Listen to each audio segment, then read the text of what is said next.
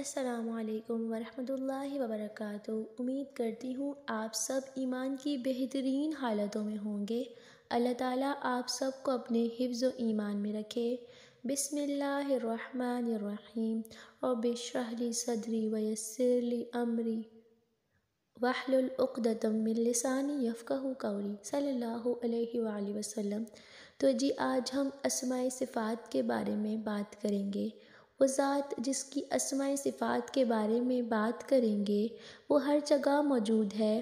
देखें, हर इंसान उसको पा सकता है, लेकिन शर्त ये है कि देखने वाले की निगाह इंसान को हासिल हो जाए। अल्लाह ताला ने जो कुछ पैदा किया है, वो इतना हैरत अंगेज़ है कि इंसान उसे देखकर उसकी खूबसूरती में खो जाता है। ये जहानों के बादशाह की तख्लीक है, जिसमें हर वक्त उसका चेहरा झलकता है। मगर हम अमूमन अपने इर्द गिर्द की दुनिया को देखते देखते आदि हो जाते हैं, इतने मानूस हो जाते हैं कि उसके अनोखेपन का हमें एहसास भी नहीं होता। देखिए, हम अगर अपने इर्द गिर्द की दुनिया में देखें तो वहाँ हवा, ज़मीन, आसमान, दरख्त, आसमान परिंदे और जानवर हैं। सब कितने अजीब हैं, लेकिन आदि होने की वजह से उन सबको अजीब हम महसूस करते ही नहीं हैं। उन्हें हम नॉर्मल देख रहे होते हैं। हर चीज़ अपने पैदा करने वाले का एक आईना है।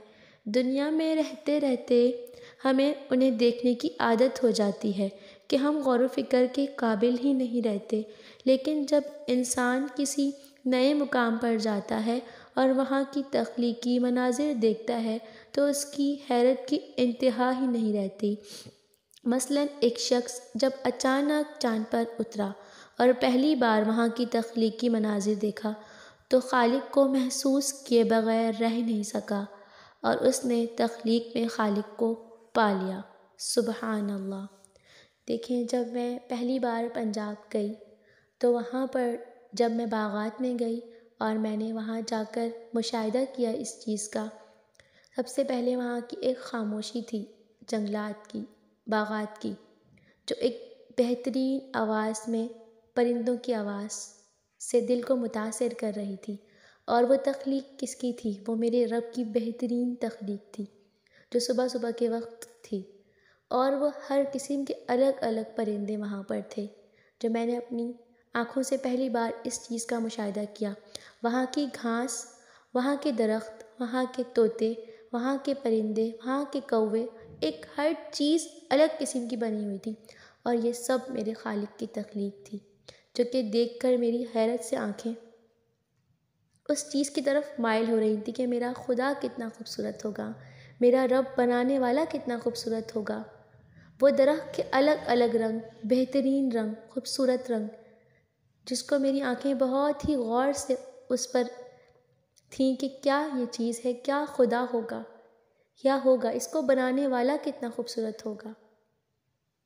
ये सब बताने का मकसद ये है कि जब हमारा ताल्लुक़ अल्लाह के साथ मज़बूत होता है तो हम अल्लाह ताला को पा लेते हैं और खालिक और तख्लीक को हम एक दूसरे से जुदा नहीं कर सकते। इसी तरह हम अगर दुनिया की चीज़ों को देखेंगे और इसकी तख्लीक पर गौर करेंगे तो अल्लाह ताला की मौजूदगी को पालेंगे। मौजूदा दुनिया में इंसान का सबसे बड़ा काम यह है कि वो अपने पास, अपने करीब, अपने रब को वजूद को, जो अपने रब का वजूद है, उसे महसूस करे। अगर एहसास ज़िंदा होगा ना तो सूरज की किरणों में अल्लाह ताला का जगमगाता हुआ नूर भी नज़र आ जाएगा। फिर बागात में हरे भरे मनाजिर में आपको अल्लाह ताला का वजूद महसूस होगा।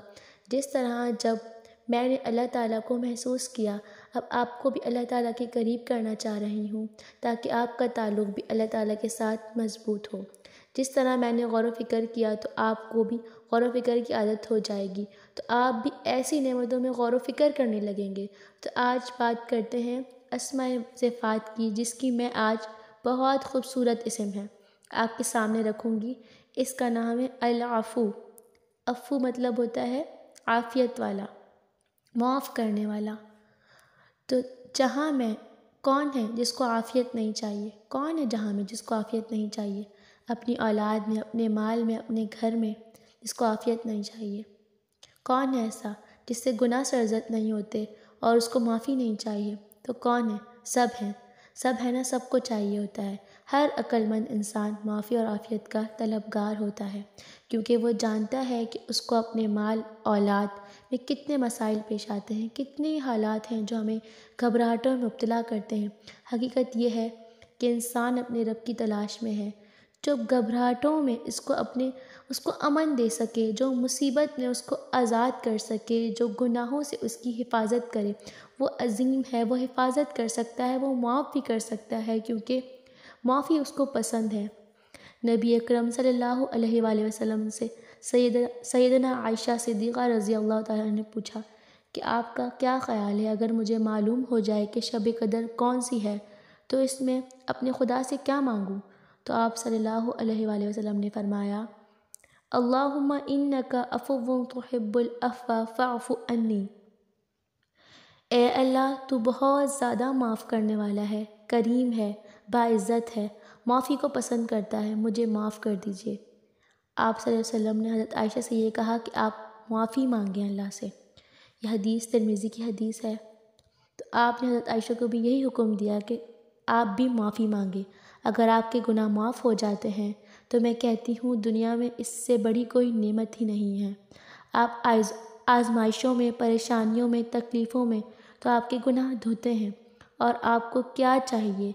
जब आपकी आजमाइशें आती हैं, आप पर तकलीफ़ें आती हैं, ये तो बहाने हैं। अल्लाह ताला इसके बदले हमारे गुनाहों को धो देते हैं। ये सोच कर अपने गुनाहों पर, तकलीफ़ों पर, आजमाइशों पर सब्र कीजिए, क्योंकि इसके बहाने हमारी बख्शिश होती है, क्योंकि इससे आपके गुनाह ही धुल जाते हैं। मुझे नहीं लगता इससे बढ़कर कोई नेमत हो सकती है।